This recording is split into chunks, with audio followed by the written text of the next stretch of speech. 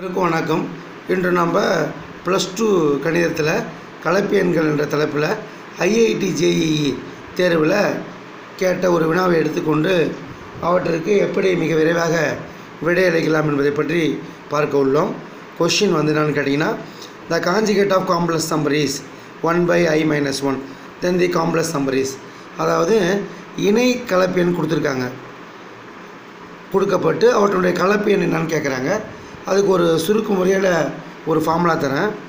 இசட்னு A plus I B by A C plus ஐடின்னு ஒரு கலப்பு எண் எடுத்தோம்னா அவருடைய காஞ்சிகேஷன் எப்படி இருக்குன்னா எங்கே ப்ளஸ் ஐ வருதோ அங்கே மைனஸ் ஐ போடுறோம்.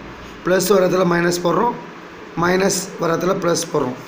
இமேஜினரி பார்ட்டில் அதாவது கற்பனை பகுதி ஐ எந்த இடத்துல வருதோ அதாவது குறி மாத்திரம் Z equal A plus I B by C plus ஐடினா Z bar equal A minus I B by C plus I D ஒரு கலப்பெண் கொடுக்கப்பட்டு அவற்றுடைய துணை எண் கலப்பெண் காண்பதற்கு எங்கே கற்பனை பகுதி வருதோ அதாவது ஐ பகுதி எங்கே இருக்கோ அங்கே குறி மாற்றினா போதும்.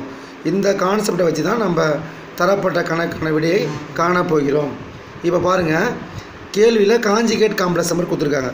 அதாவது இசட் பார் கொடுத்துருக்காங்க one by I minus one நம்மளை என்ன கேட்குறாங்க பாரு?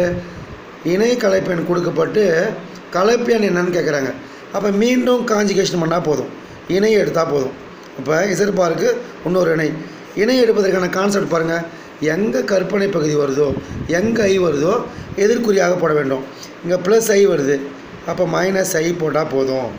கற்பனை பகுதியில் மட்டும். Z bar whole power bar. இப்போ இசட்னு தெரியும். நம்மளுக்கு தெரிஞ்சுக்கணும். இசைப்பார் பார் ஓல் பவர் பார் ஜிக்குள்ள இசட் இந்த அடுத்த ஸ்டெப்பில் ரெண்டுத்துக்கும் மைனஸ் பொதுவாக வெளியே எடுத்துடுறோம்.